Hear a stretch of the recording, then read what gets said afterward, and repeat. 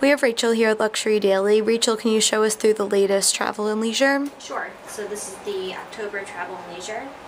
Um, obviously and predictably, a lot of the brands are focused in the travel sector. Um, here's Waldorf Astoria. Rolex is not travel.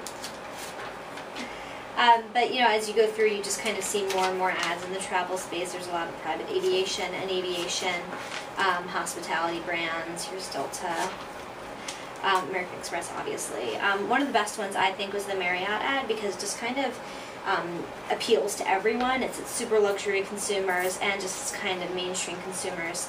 Um, they have, they're very distinctive. It's made of thicker paper stock. Um, it's a fold out, it's very colorful, and obviously when you're just um, holding the magazine, it falls over to this ad, which is important. Um, and also, it's a tearaway ad.